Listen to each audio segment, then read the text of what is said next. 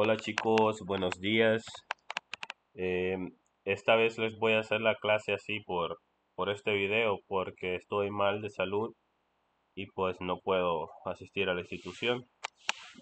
Así de que espero su comprensión y también espero de que ustedes trabajen esto eh, durante la hora de clases que tenemos. Si en caso los dejan, eh, pues los despachan y se pueden ir para la casa, si en todo caso llegase a suceder eso, la hacen en sus casas, pero me la envían siempre hoy, ¿de acuerdo?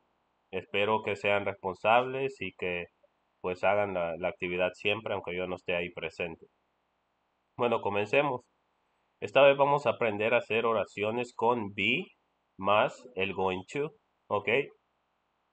¿Cómo se hace eso? Bueno, primero podemos comenzar con los pronombres. ¿Cuáles son los pronombres? Los pronombres son todos estos que están a este lado, ¿ok? Estos son los pronombres. Esto que estoy encerrando en este momento son los pronombres, que puede ser I, you, o podemos incluso poner el nombre de la persona, en este caso Jack. Podemos utilizar it, we o they. Y ahí están todos los pronombres, ¿ok? Ahora, con I siempre vamos a utilizar para, en efecto de hacer este tipo de, oraciones, vamos a utilizar la forma del verbo to be am. Esa siempre va a ir con I. Con you siempre va a ir la forma del verbo to be are. Con Jack, porque es como que estemos diciendo, hablando de él, ¿ok? Es como que digamos he. Entonces siempre va a ir la forma is. Igual si utilizamos she o es el nombre de una mujer, vamos a decir is, ¿ok? Con it también siempre utilizaremos is. Con we vamos a utilizar siempre are y con they vamos a utilizar también siempre are, ¿ok? Eso grábenselo porque tienen que saber con qué pronombre utilizar qué forma del verbo to be. Ahora bien, después de la forma del verbo to be, no antes, sino después, vamos a poner going. ¿Ok? Aquí está going. Eso va a ir siempre con todas, going, going, going, going, going, con todas. ¿Ok? Ahora, Luego después de going, que sigue? Vamos a poner el verbo en su forma infinitiva, que dice full infinitive, lo cual significa que antes del verbo vamos a poner un to, así como observan acá, y luego el verbo que es pain. Aquí dice to, y luego el verbo que es love, to, y luego buy, to, rain, to, visit, to, accept. ¿Ok? Ahora bien, eh, ¿qué estamos diciendo acá, por ejemplo? En la primera que dice, vamos a cambiarlo de color para que podamos resaltarlo un poco más. Déjenme cambiarle acá. Vamos a poner el color rojo.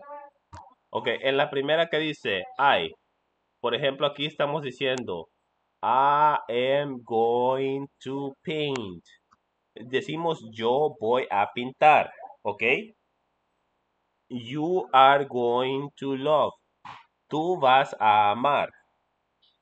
Jack is going to buy. Jack va a comprar.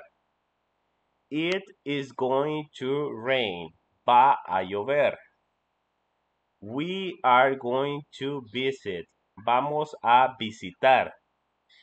They are going to accept. Ellos van a aceptar. ¿Ok?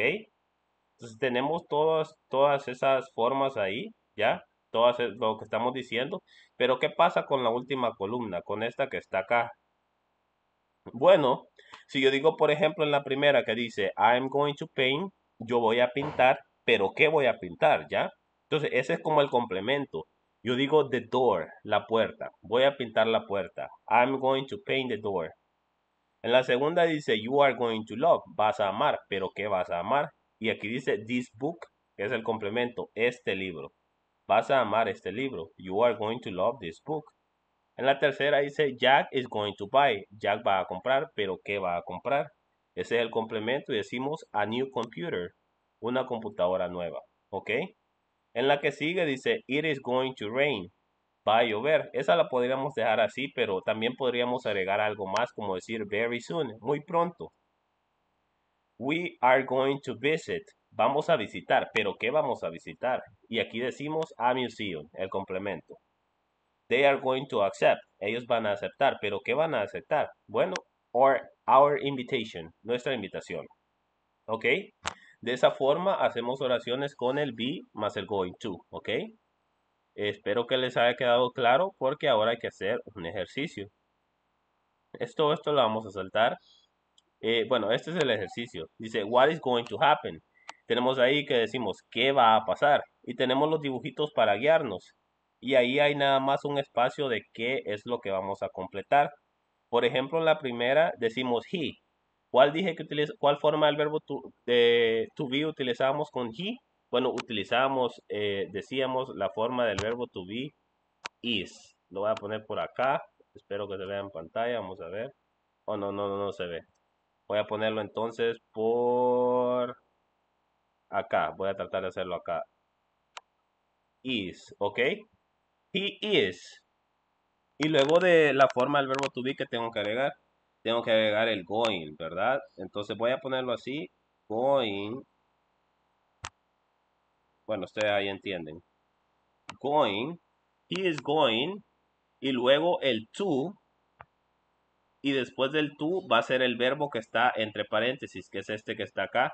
Y decimos drop. Entonces la primera quedaría, he is going to drop the sushi. The sushi, que es esto que está acá, él va a tirar la salchicha. ¿Ok? Eso dice ahí, él va a tirar la salchicha. He is going to drop the sushi. ¿Ok? Luego tenemos la segunda que dice, he is going to eat the hamburger, ya, etcétera. Ahora, todas esas que están acá, ustedes las van a completar. ¿Ok? Básicamente, eh, son estas mismas que, que están acá. Son 25 en total. Las van a copiar en su cuaderno. Las van a completar.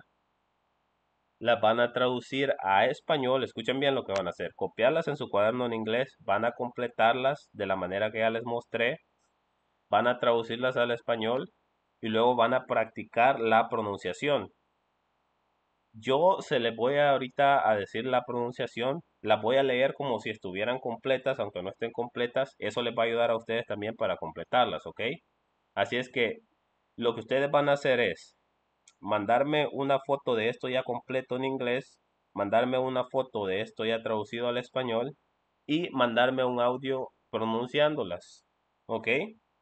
Eso, esa es básicamente la actividad. Eh, tienen para trabajar durante el bloque de clases. Así es de que espero que sean responsables y me la envíen. Bueno, vamos con la pronunciación. Número uno. He is going to drop the sushi. Number two. He is going to eat the hamburger. Number three. The man is going to blow the candle. Number four. He is going to hit the ball. Number five, he is going to do the washing up. Number six, he is going to jump into the pool. Number seven, the boy is going to sleep. Number eight, the dog is going to buy the postman. Number nine, he is going to fall off the bike. Number 10, the boy is going to catch the ball. Number 11, he is going to mend the puncture. Number 12, the dentist is going to pull the tooth out. Number 13, the policeman is going to catch the thief. Ok, vamos ahí. Uh, number 13, the police is going to catch the thief. Ok, sigamos. Number 14, she is going to miss her plane. Number 15, he is going to buy a tie. Number 16, they are going to watch a film. Number 17, he is going to deliver the letters. Okay? Quedamos a la 17, seguimos con number 18. She is going to tidy up the house. Number 19, she is going to do the needle. Number 20, the boy is going to drink water. Number 21, he is going to wash the car. Number 22, he is going to be late for work. Number 23, he is going to escape from the prison. Number 24, he is going to catch the fish. Number 25, he is going to go shopping. ¿Ok? Ahí las tienen todas, practíquenlos, me envían el audio, me envían las fotos y ahí estamos chicos. Recuerden que siempre las actividades son evaluadas, así que representan una nota, ¿ok? Eh, cuídense mucho y espero verlos pronto, ¿ok? Bye bye, tengan un buen día.